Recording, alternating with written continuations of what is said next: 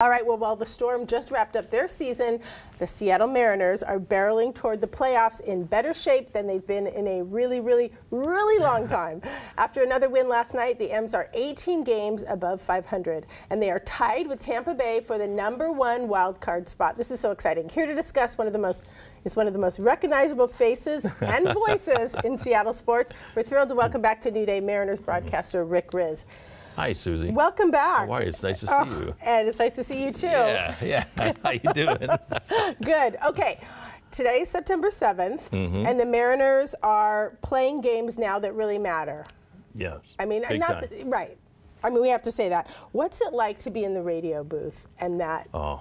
vibe, as my kids would say, oh. out there. Susie, it is so exciting right now. The ball club is heading for the playoffs for the first time in a long time. Last time the Mariners got there 21 years ago, back in 2001, when they had that magical year, winning a major league record 116 games. But this team is built for the playoffs and to go deep into the playoffs because the pitching is just so good.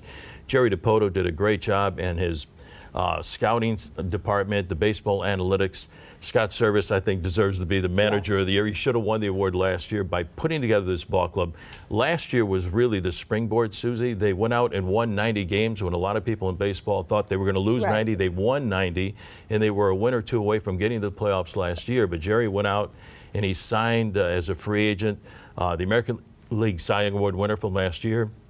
Robbie Ray, who was with Toronto. We got him now for the, at least for the yeah. next five. And then the trade with Cincinnati to get Jesse Winker and A. Eugenio Suarez. And then to go out and get one of the best pitchers in baseball at the trade deadline in Luis Castillo, coupled with the young players that have been so exciting.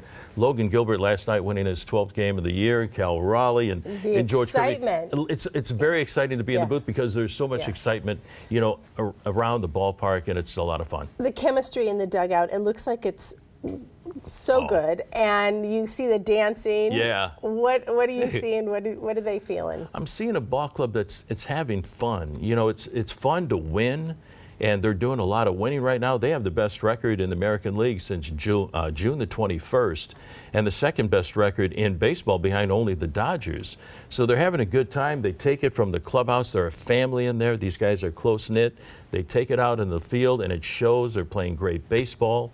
Like I said, the pitching is the best in, in baseball. So they're just having a great time right now winning, and it shows the fans are showing up like crazy, and the energy in the ballpark is just incredible. It, it's wonderful to see how you put that all together, building what we saw last year, and we kind of were teased with that. Well, maybe yeah. with that 90 games, and then and to see this is so is just yeah. exciting. So as of this morning, the Mariners are tied with Tampa uh, right. uh, Bay for the number one wild card spot. Right. So this remains a very very close race. Um, can you explain why, when we look at the other contenders, that the Mariners are in such good shape? Going into this right now? Yeah, they're, they're built for the playoffs. So they're built for going deep in the playoffs because the starting pitching is so good. You know, you added, like I said, Robbie Ray during the offseason, one of the best pitchers in baseball. You add Luis Castillo during the course of the season to go along with Marco Gonzalez, who is outstanding. This guy is so competitive. Two great young pitchers in Logan Gilbert and, and George Kirby.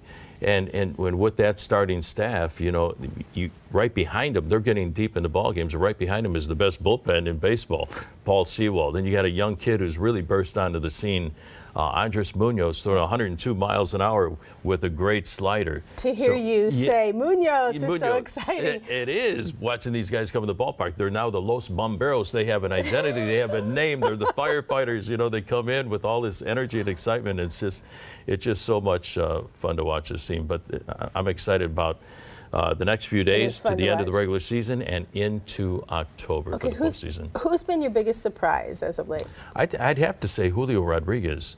This kid is only 21 years of age, loaded with talent, and here he is, his rookie season. Last year he started off at Everett and then right. went to Double A Arkansas and bypassed Triple A. Went out, went to spring training. He had a great spring, and he makes the ball club. We're thinking maybe he can he can be a corner outfielder, left field, or right field, but he goes out there and proves he can play center field, and he makes the All Star team. Right at the age of 21. This kid's talent is just off the charts. The way that he plays the game, his charisma, his joy for the game, the smile, his interaction with the fans, they already have the no-fly zone out there I, in right field and, and the J-Rod squad. So I think that's what fans feel, that, that what you just said, the joy for the game. They feel that they respond to that. How about um, Cal Raleigh? Oh my goodness, he's he's part of the really core of the young players that have really made leaps and bounds. Uh, you know, uh, this year, he, last at the early part of the year, he was in like 083, really struggling. Went down to AAA, came back, figured things out, made adjustments, quick to the ball, and now he's been one of the best hitters in the American League. Over the last few weeks, the last few months, he has more home runs than any catcher in the American League right now. He had a big two-run home run last night in the bottom of the eighth inning to seal the deal, a 3-0 shutout win yesterday over the Chicago White Sox. But this kid is doing it at home plate. He's doing it behind the plate, catching all these guys. He's made so such a big improvement this year. What's your message to the fans, especially as we're knee deep in this seven-game homestand? I tell you what, my message to the fans is you're taking a look at one of the most exciting teams in baseball right now. You got your veterans on the ball club. Mariners really missed Mitch Haniger in the early part of the year. Now he's back. And then you got the young players uh, that have really added to it, uh, like Cal Raleigh and George Kirby and Munoz and uh, Logan Gilbert and on and on. Matt Brash started the year in the rotation. Now he's working out of the bullpen. This is one of the most exciting teams I've seen in my 40 years here. And 95 was great. That was a team that saved baseball. 2001, it was a team that won 116 games. But this team is, is built for the playoffs, and, and they're going to get us there. Okay, so I have to ask, you've been calling games since what, you were 12 years old in, the, in the basement of your family home, yeah, yeah. right?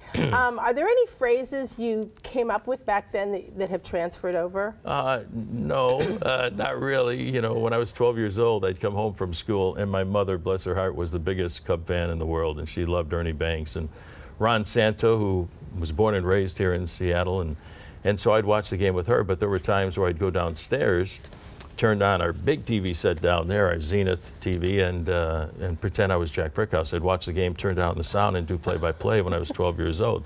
Here's Ernie Banks swinging a fly ball, and it's gone, a grand slam, you know. But uh, so that's how I got started. When I was 12, I wrote Mr. Brickhouse a letter. Jack Brickhouse was the Hall of Fame broadcaster right. for the Chicago Cubs, and he wrote me back a letter.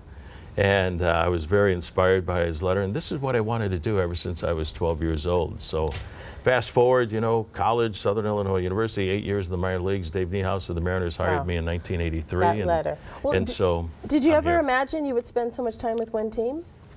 I, I wanted to. that was the goal.